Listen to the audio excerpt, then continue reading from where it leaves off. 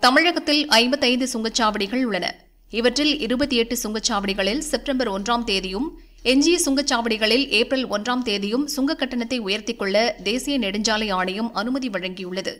அதன்படி தமிழகம் முழுவதும் உள்ள இருபத்தி எட்டு சுங்கச்சாவடிகளில் கட்டண உயர்வு நள்ளிரவில் அமலுக்கு வந்தது. திண்டுக்கல் திருச்சி சேலம் மேட்டுப்பட்டி உளுந்தூர்பேட்டை மதுரை தூத்துக்குடி செங்கல்பட்டு உள்ளிட்ட சுங்கச்சாவடிகளில் புதிய கட்டணம் வசூலிக்கப்பட்டது. தமிழகத்தில் சுங்கச்சாவடிகள் தோறும் கட்டணம் மாறுபடுகிறது.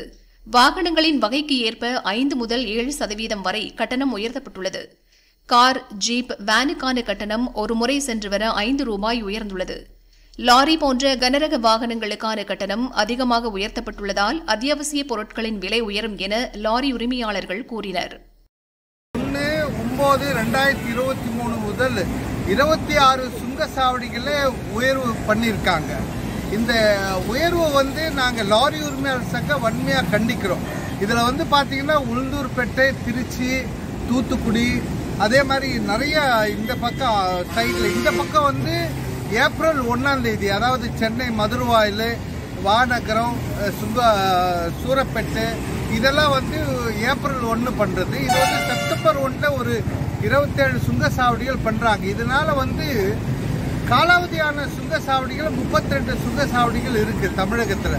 அப்போ காலாவதியான சுங்கச்சாவடியில் ஏன் வந்து வெறும் கலெக்ஷன் ஏஜென்ட் இருக்கிற இடத்துல ஏன் வசூல் பண்ணோம்? அப்படின்னு நாங்கள் இதை இதை வந்து வன்மை எதிர்க்கிறோம். இதனால வந்து பார்த்தீங்கன்னா ஒரு அஞ்சு ரூபாய்க்கு ஆரம்பித்து நூற்றி ஐம்பது இரநூறுவா வரைக்கும் உயர்வு வருது ஒரு டோலுக்கு. இப்போ தமிழ்நாட்டுக்குள்ளே மேக்ஸிமம் கன்னியாகுமரி போனால் பதினோரு டோல் வரும். அப்போ பார்த்தீங்கன்னா பதினோரு டோல்ல ஒரு ஒரு நூறுரூபான்னா கூட ஒரு ஆயிரம் ரூபாய் இன்க்ரீஸ் வந்துடும் அது மாதிரி வெளி மாநிலத்துக்கு போகிற வண்டிகள்லாம் அதிகம் வரும். ஆகவே இந்த மாதிரி உயர்வு வந்து ஏன் இந்த உயர்வை வந்து தடுத்து நிறுத்தணும்னு நாங்கள் முதல்வருக்கு கோரிக்கை கொடுத்துருக்கோம். இது இல்லாத இந்த சிஏஜி ரிப்போர்ட்டில் வந்து பரநூறு சுங்கசாவடியில் இருபத்தெட்டு கோடி அதிக வசூல் பண்ணியிருக்காங்க. அதை பற்றி விசாரணை பண்ணோம்னு சொல்லியிருக்கோம்.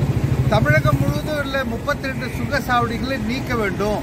அப்படின்னு சட்டசபையில் பா நிறைவேற்றப்பட்டு தீர்மானம் நிறைவேற்றப்பட்டு மத்திய அரசு கொடுக்கப்பட்டது. அதையும் வந்து உடனடியாக இந்த முப்பத்தி ரெண்டு காலாவதியான சுங்கச்சாவடிகளை சாவடிகளை நீக்கி மக்களுக்கு இலவசமாக பயன்படுத்த வேண்டும். அப்படி இல்லைன்னா வெறும் மெயின்டெனன்ஸு நாற்பது ரூபா நாற்பது பர்சன்ட் வசூல் பண்ணி நடத்தணுன்றது தான் எங்களுடைய கோரிக்கை.